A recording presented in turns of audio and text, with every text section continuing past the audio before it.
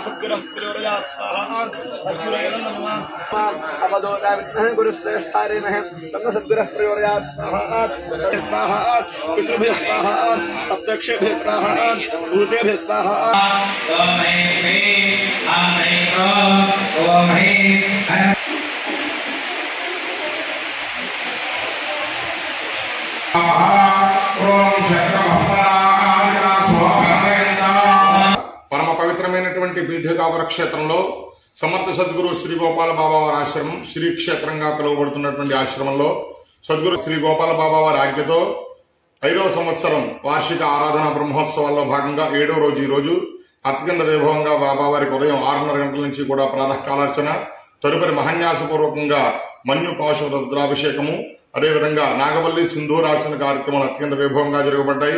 అదేవిధంగా అత్యంత వైభవంగా ఆంజనేయ స్వామి వారికి ప్రీతిగా లోక కళ్యాణార్థం సర్వరోగ నివారణ అయ్యి అంతా కూడా అభయ ఆంజనేయ స్వామి వారి యొక్క ఆశీర్వచనంతో అందరూ కూడా శుభంగా ఉండాలి అనేటువంటి సత్సంకల్పంతో మన్యు పాశుపత హవనము. అదేవిధంగా నవగ్రహ నక్షత్ర హవనములు అత్యంత వైభవంగా జరిగాయి. ఈ యొక్క కార్యక్రమాలు ఇరవై ఐదవ తారీఖు వరకు అత్యంత వైభవంగా జరుగుతాయి. ఇరవై ఐదవ తారీఖు గురువారం నాడు సమర్థ సద్గురు శ్రీ గోపాల్ బాబా వారికి బ్రహ్మోత్సవ పూర్ణావరి కార్యక్రమం జరుగుతుంది. ఈ యొక్క కార్యక్రమాల్లో భక్తజనులందరూ కూడా పాల్గొని శ్రీ సమర్థ సద్గురు గోపాల్ బాబా వారి అనుగ్రహానికి పాత్రలు కావాల్సిందిగా కోరుతున్నాం. ఇట్లు శ్రీ గోపాల్ బాబా వారి మరిన్ని తాజా వార్తా విశేషాల కోసం ఎం న్యూస్ని సబ్స్క్రైబ్ చేయండి. మీ మిత్రులకు షేర్ చేయండి.